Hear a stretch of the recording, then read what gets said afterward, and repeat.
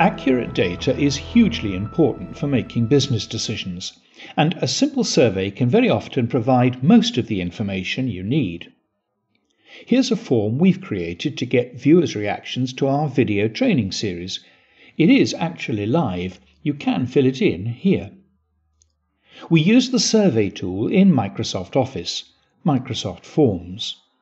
Unlike many other online survey tools, it's free if you have Office 365. It offers unlimited surveys and questions, excellent analytical tools, and you can download your data to Excel. Open the Forms app in Office 365 and click on New Form. Give your form a name. Add a picture if you want. I'm using ETOP's logo, which I have in my OneDrive folder. And then give your form a subtitle. You can change the theme color if you want.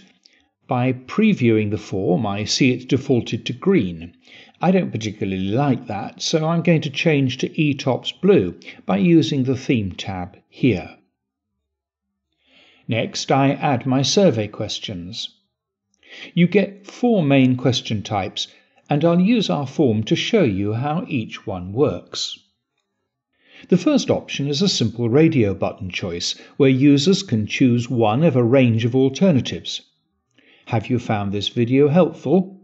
You can choose yes, no, or maybe, or simply add all three. If your questions are more open, you can add more options, and even an other field where users can specify their own answer. I want to make this answer required. My second question demonstrates a text box question. Which video did you watch? I could insert an image here, but I don't need to. I can offer the user a large text box for a long answer, but I don't need that either. However, I do want to require an answer to this question. There are a few other options here, you can copy the question, delete it, or change the question order. My third question demonstrates the ratings option. How would you rate it on content? You can choose a scale between 2 and 10. 5 is fine for me. And you can choose between star symbols or numbers. I prefer stars, and I'm going to keep this as a required answer. The fourth question option is a date box. The user enters a date in response to a question, but I don't need this for my survey. There are three other options you could use ranking a series of statements in preference order, Likert, a two axis preference choice, and finally the ubiquitous How likely are you to? Well, here's my completed survey. I'll do a quick preview to proofread the questions, and I'm ready for the next check, a user test, where I fill in a set of sample answers. It's important to do a quick check like this to make sure the logic of your survey is correct. I can email a link to the survey to the marketing director so he can check it as well. He replies that he's happy with it and he's even added some test responses for me.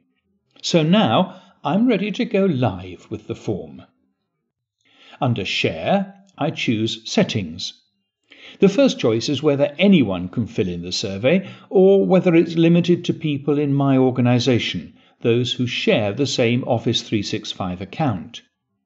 If you choose the latter, the default option is to record the name of the person filling in the survey, for data protection reasons, you might want the responses to be anonymous. If so, uncheck this button. But I want anyone who views this or any other ETOP video to be able to respond. Under Options for responses, I definitely want to accept responses. I don't want a start or end date, nor do I want to spoil the logical flow of my questions by shuffling the order. But I do want to modify the rather curt, your message has been sent, with a nicer thank you message. And I'd like an email notification of each response. To send to users, you have four main options. The first is a simple link to the survey that you can send via email, use on social media, or add to a website. The second is a downloadable QR code. That's very useful for print media such as posters or magazines. The third is an iframe to embed the survey into a website. And a word of warning iframes are not popular with web designers because they've been vulnerable to malicious attack. The final option is a standard Mail to link that calls the Mail app. You can also share it as a template or let your colleagues collaborate on it. And finally, you can view the responses you get to your survey using the Response tab here. You can either choose an overview of the responses, or you can manage individual responses here, or download an Excel file for them for deeper analysis, or even to import into a database. That's an overview of how to use Microsoft's forms. A word of warning never ask for anyone's password for anything in any field. And if you're filling in a survey and it asks you for a password, don't give it. And a word of advice make your form short and easy. Two minutes maximum to complete. Viewers really hate long surveys. Remember, this survey is actually live. Please use it to send eTop Technology your response to our training series. We're here to help. If you like these videos, please subscribe to our YouTube channel. If you found this video helpful, check out some of our more recent videos. And if you're looking for a new IT partner, please visit our website.